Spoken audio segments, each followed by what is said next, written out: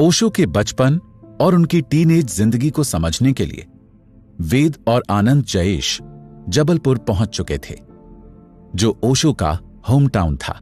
आनंद जयेश ओशो ने एक बार lost childhood की बात कही थी। हम उनका बचपन देखें। उससे पहले क्या आप मुझे लॉस्ट चाइल्डहुड कॉन्सेप्ट ओशो के नज़रिए से समझा सकते हैं? वेद ओशो कहते थे कि जैसे जैसे हम बड़े होते जाते हैं अपने बचपन को पीछे छोड़ जाते हैं। हम अपनी मासूमियत और अपनी वो मासूम आँखें पीछे छोड़ देते हैं, जो दुनिया को लेकर आश्चर्य महसूस करती थी, जो दुनिया की हर एक चीज़ को बहुत उत्साह के साथ देखना पसंद करती थी।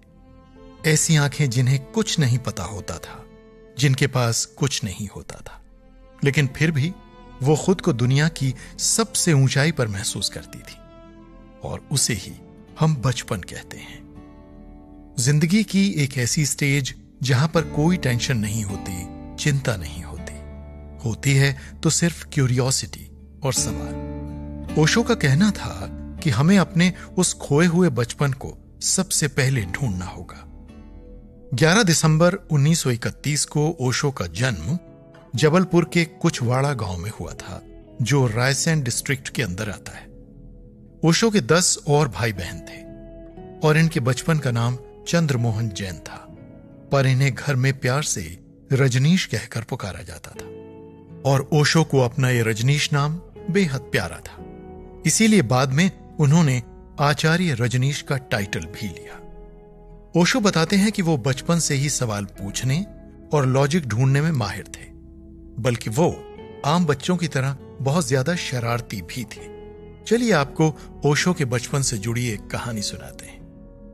ओशो के गाँव में एक संत हुआ करते थे जो अक्सर बैठकर अध्यात्म भूत प्रेत और आत्मा, इन सब की बातें करते।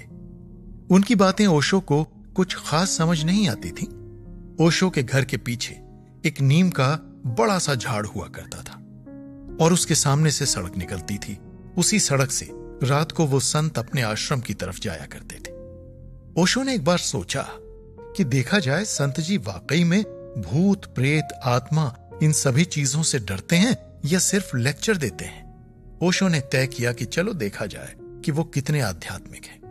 ये देखने के लिए ओशो उस नीम के झाड़ के ऊपर चढ़ गए। ओशो ने एक ड्रम लिया और एक छोटी सी छड़ी ली और वो नीम के पेड़ पर चढ़कर बैठ गए।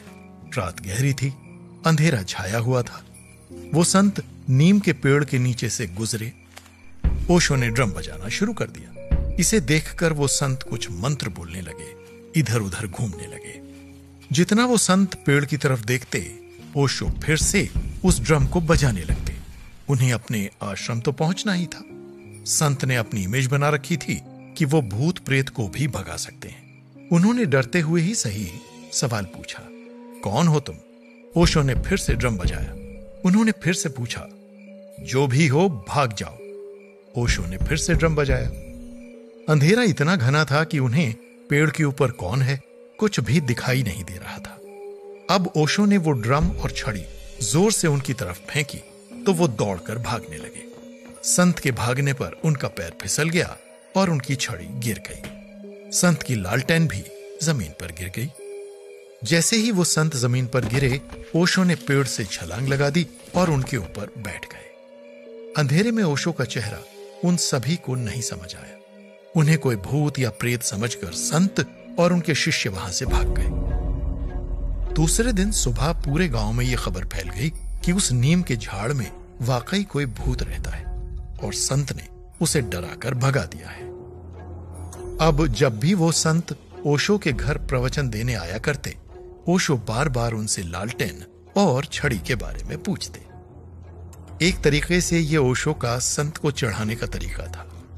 इससे वो संत परेशान हो गए और फिर उन्होंने ओशो के घर आना बंद कर दिया। इस कहानी का सीधा सा मतलब है कि ओशो बिना वजह की बातें, बिना लॉजिक की बातें बर्दाश्त नहीं कर सकते और इसलिए उन्होंने ये सब कुछ किया। आखिरकार उस संत ने ओशो के घर आना छोड़ दिया।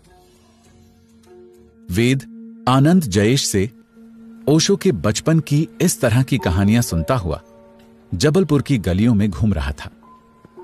चलते हुए वेद के मन में ख्याल आया।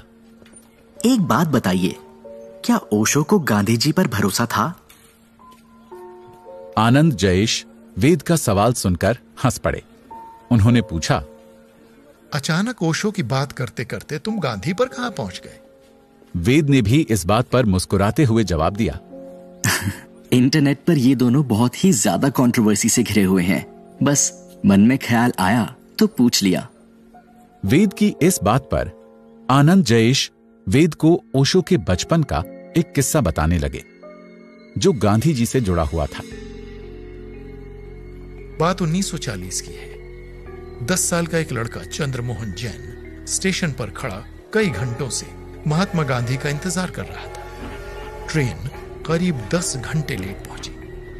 लेकिन वो दस साल का लड़का था जो अपनी जगह से हिला तक नहीं। उसने ठान ली थी कि वो आज गांधी जी से मुलाकात करके रहेगा जब ट्रेन स्टेशन पर पहुँची और महात्मा गांधी उतरे तो स्टेशन मास्टर खुद उस बच्चे को लेकर गांधी जी और कस्तूरबा के पास गए।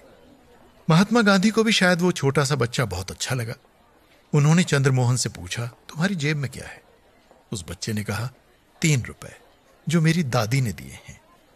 गांधी जी ने मुस्कुराते हुए उस बच्चे से कहा तो ठीक है, इसे दान कर दो। बच्चा हिम्मती था। उसने पलटकर जवाब दिया, हिम्मत है तो ले लो, पर पहले यह बताओ कि दान देना क्यों है? गांधी जी ने उस बच्चे को बताया कि इस पैसे से गरीबों की मदद की जाएगी। बच्चे ने तीन रुपए दान के बक्से में डाले और एक पल का भी समय नहीं गंवाया। और वो उस बक्से को गांधी जी के हाथों से छीनकर भागने लगा। गांधी जी कुछ समझ पाते, उससे पहले ही लड़का थोड़ी दूरी पर जाकर रुक गया। गांधी जी ने कहा यह क्या कर रहे हो? बच्चे ने कहा कि, जब ये पैसे गरीब के लिए हैं तो मेरे गाँव में बहुत से गरीब हैं। मैं उन्हें ले जाकर इन्हें दे देता हूँ। बच्चे के मुँह से यह सुनते ही कस्तूरबा गांधी खिलखिलाकर हंस पड़ी।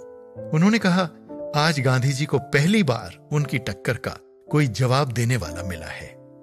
कस्तूरबा ने मज़ाक मज़ाक में बच्चे से कहा, ले जाओ बेटा, ये पूरे ले जाओ। ये बक्सा, अब मुझे अपनी सौथन लगने लगा है।